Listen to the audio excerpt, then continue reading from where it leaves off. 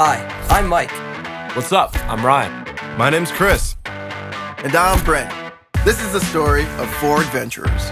This custom striped RV is our home for the summer. We'll be taking adventures on land, water, and sky. Along the way, we'll be joined by some very special guests. This is an epic journey across Canada.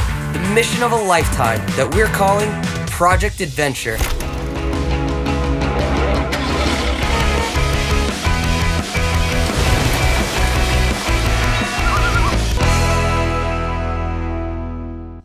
Day three, and we're still on beautiful Vancouver Island. We're heading to Campbell River for some extreme snorkeling.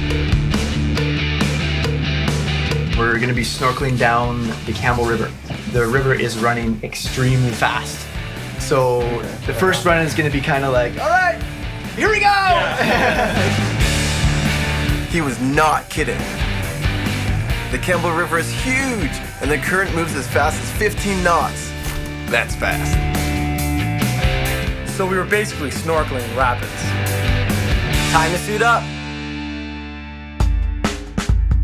When I first got in the water, it was scary how fast the river was moving. That water was powerful. It was like being on an underwater roller coaster. It's a little scary at first, but once you get the hang of it, it's totally amazing.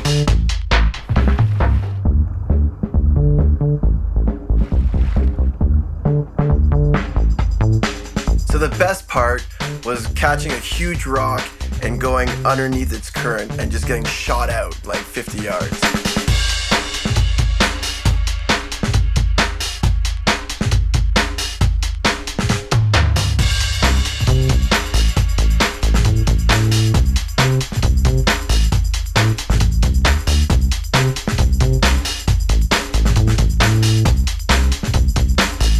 Welcome to the Campbell River. That was wild. Never knew you could snorkel like this. Never even thought of that. After snorkeling, we wanted to experience Campbell River in a completely different way.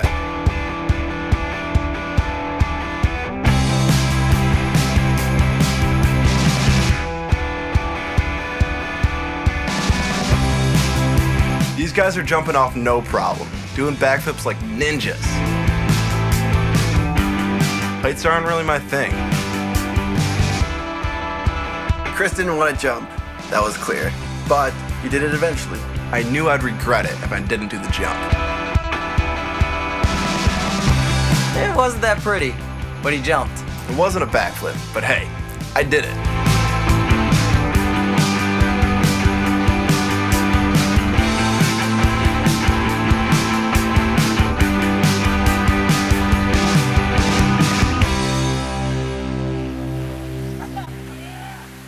On the next episode of Project Adventure, we hit the road again and head north to Telegraph Cove for some kayaking with Olympian Margaret Langford.